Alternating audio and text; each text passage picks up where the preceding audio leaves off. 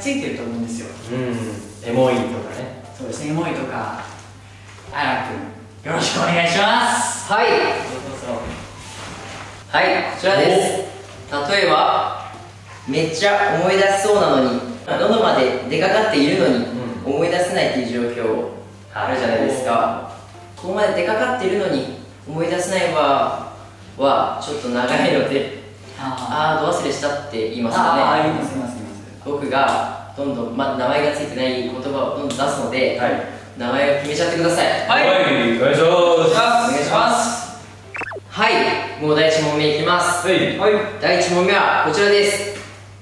足の小指を机やテーブルの角にぶつけるとめっちゃくちゃ痛い。あの状況です。もうよくさ小指つけんだけどさとこういうさわかる？これ。あの家のさ中にあるドアストッパーみたいな。ドアをガッてやるやつ。あー。あるあるわかるわかる。あのこれ1月1日のマジで明けましておめでとうの5分後くらいにここにぶつけて。最悪だ。マジでもう折れたと思って。次の日病院に行ったんだけど。全然。強いね。じゃあキヨン君からお願いします小指ベン。略して小指版ですね。お願いします。僕はもう小指板とかそんなのありません。すくいたです。すくってどっから出てきたの机とか。でもやっぱ日本人なわけですから、まあ、日本語を使おうということでテーブルではなく机のつくを取ってそこにまあ痛いの板をつけつく板ですそれではアラン君のお気に入りを選んでください。はい。どっちが流行りそうか？あどっちがみんな使ってて心地よいか？まあ、僕はそうですね。救いたかなっていう。えー、響きがいい確かに確かにね。まあはちょっといや言いやすさをちょっと考えたんで。でも俺小指ベン小指ベン第2問目はこちらです。誰かにめっちゃ言いたいんだけど誰にも言っちゃダメな秘密を知ってしまった時のそわそわ状態。あ俺は分かる。本当に分かるね。秘密をね。あいつ誰々好きなんだぜみたいなね。言いたいよね。言いたいね。でも言っちゃダメ。じゃあこの状況を短く言葉にするのならお書きください。いやー難しいね。じゃあキ君からお願いしまえー、流行語今年の流行語できました。はい！暗黙ソワール男爵すということですか？えだから言わないでしょ。言わな言わない。い秘密。でそわそわしてる。あそう。だでソワールちょっと男爵っぽいから。男爵も。ちょっと暗黙ソワール男爵だから言えないわ。はい。僕はこちらです胸のお口チャック。秘密なんであそう心の中で。そう。心か。心の中でね。発表します。お。胸のチャチャック。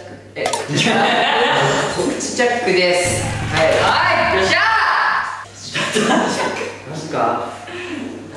ちょっといまいちだな。マジか。まあまあま続いてはこちらです。おい。お自分の得点会が一瞬あった後のあの時間のこと。気まずうわ気まずあれはね。はいね。経験したことありますよ。まあまあまこれはもう俺一番早く出てきたですよ。誰とも言える。ノイ君からお願いします。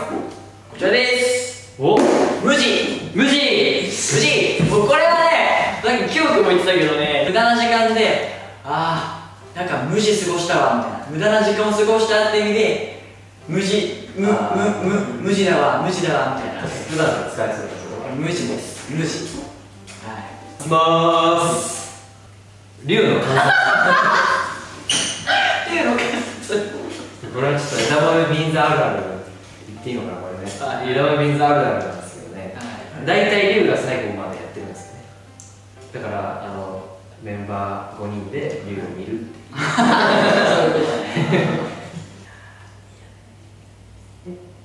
リュウ君の観察でえマジか。無地ダメ。なんか、うん。しょぼい気に入らない。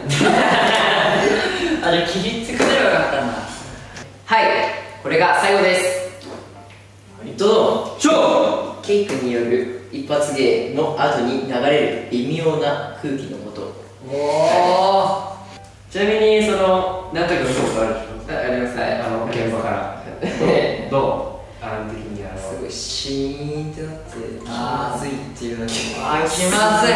とりあえず K に伝えとくわあーくんが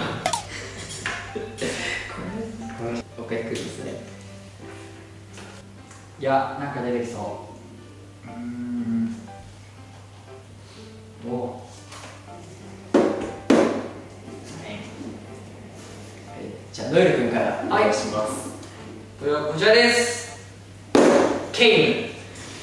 ヘイまあ無、まあ、てもうみんな反応がないから無反応の無です。無無形にしようと思ったか迷いましたけどやっぱケイムの方がいいということで。ケイム。じゃあ行きます。はい。深夜4時半 ああね。だからね。いいよ。あの深夜で1時とかってもう何でも面白いやん。あ3時とかでも何でも面白いやん。4時半でね何やってんだろうと思ってくるんだよね。あその時間は何やってんだろう寝ようっていうその時間帯。かわいい。記憶で